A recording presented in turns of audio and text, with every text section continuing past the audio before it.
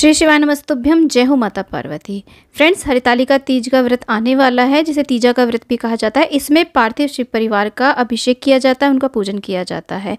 तो देखिए, आप घर पे किस प्रकार से बहुत ही सरल विधि से शिव परिवार का आप निर्माण कर सकते हैं, आज की इस वीडियो में हम वही देखने वाले हैं।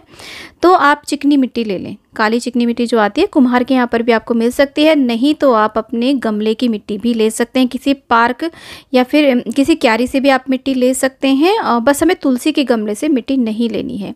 साथ में एक बेलपत्र ले लें।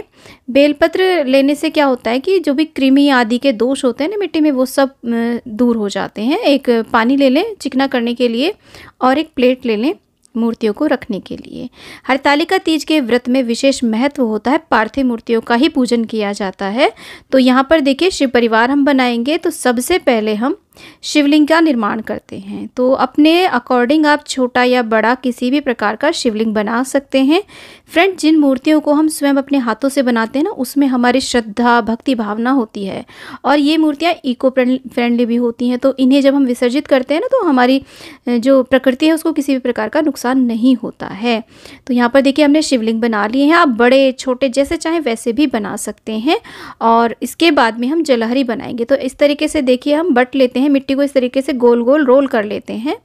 जलहरी इस तरीके से नीचे का जो पार्ट होता है ना, वो जलहरी होती है। तो इस, ऐसे मिट्टी लेंगे और ऐसे उसको हम थोड़ा सा शेप दे देंगे और उसके बीच में हम शिवलिंग को स्थापित कर देंगे और अच्छे से इसे हम फोल्ड कर देंगे। यानी कि शिवलिंग की हम शेप दे देंगे। कोई भी दरार या तरेड़ होती है, उसे हम अच्छे से कर लेंगे मैनेज।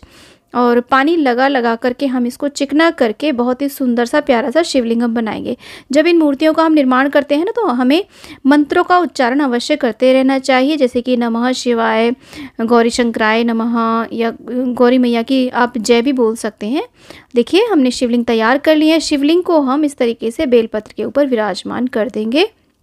और इसके बाद हम बनाते हैं। देखिए हमें गणेश भगवान और माता पार्वती बनानी होती हैं।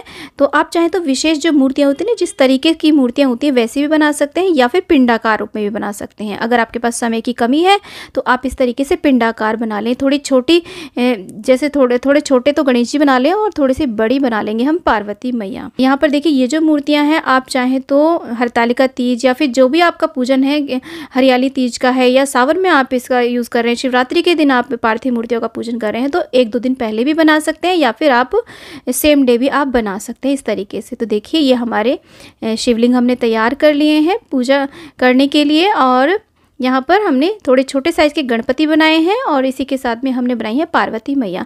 मूर्तियाँ बनाने के बाद में आप थोड़ा सा चंदन या फिर यहाँ पर अक्षत ज़रूर अर्पित कर दें, नहीं तो इंद्र देवता हमसे पहले इनका पूजन कर जाएँगे। तो फ्रेंड्स हरितालिका तीज की पूजा विधि का वीडियो, पूजा सामग्री का वीडियो और बहुत सारे वीडियो चैनल पर आ चुके हैं। आप उन वीडियोज़ को भी ज़रूर चेकआउट करें। मिलते हैं नेक्स्ट वीडियो में, तब तक के लिए श्री शिवान मस्तुभ्यम जय हो माता पार्वती।